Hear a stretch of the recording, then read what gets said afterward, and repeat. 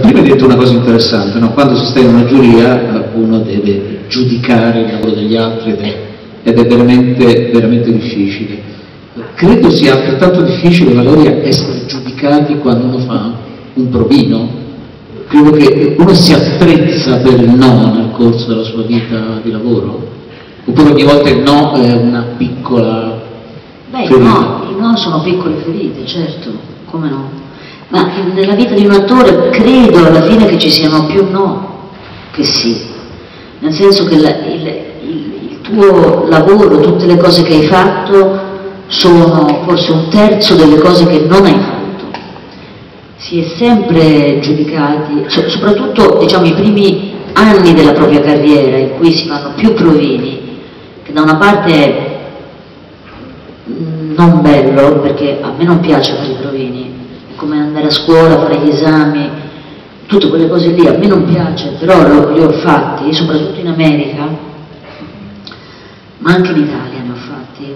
Adesso è tanto tempo non faccio forse un provino da 10 anni, 15 anni, non lo so, un po' mi manca anche però, adesso che non li faccio più, ma perché è come se da una certa età in poi o dopo un, pre, si prenda per scontato che tu sei bravo, che porterai il lavoro e che quindi ti offrono tutto quello che pensano che tu possa fare, però mai quello che tu potresti, cioè Fare un provino, per quanto sia, puoi anche sorprendere le persone che ti stanno davanti. È brutto e ti mette in difficoltà, è brutto nel senso come sensazione, quello che dicevi tu, però se quel giorno ti riesce, puoi anche fare altro da, da quello che gli altri si aspettano. Invece a un, a un certo punto della, della propria carriera smetti, ti offrono le parti, semmai se tu dici ma fate per una cosa, fate, ma no, ma loro sanno benissimo chi sei, sanno benissimo che cosa puoi fare.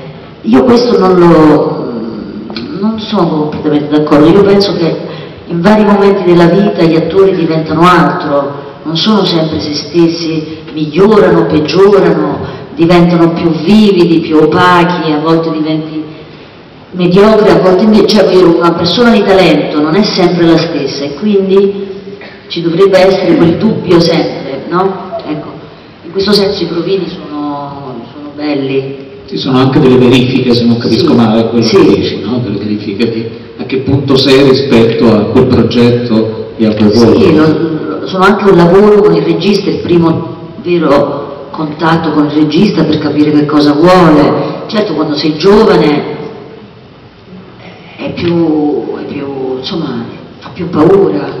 Poi ci sono attori che fanno bellissimi provini, attori che fanno provini, per esempio Jasmine Trinca, che è la protagonista di Miele, del mio film, che è stata proprio la mia musa e che volevo assolutamente che facesse il film, ha fatto tutti provini mediocri, non è mai stata veramente brava nel, nei provini, eppure l'ho presa lo stesso, perché si capiva che in quella cosa di non riuscire a fare, io vedevo già quello che poi lei invece è riuscita a fare ed meravigliosa secondo me nel mio film.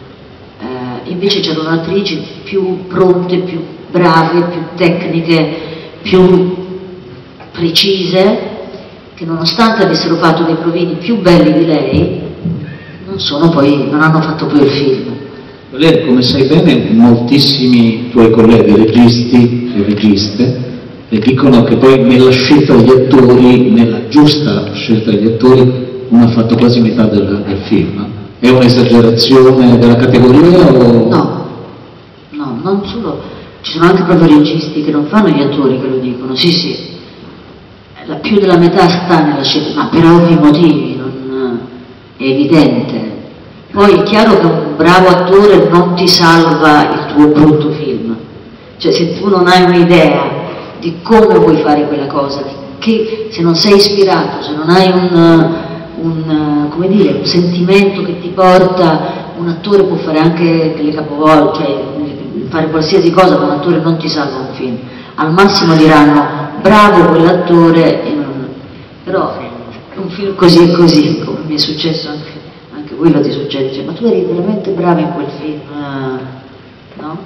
Il film meno bravo. Però è vero che scegliere il tuo attore bene è importantissimo, importantissimo.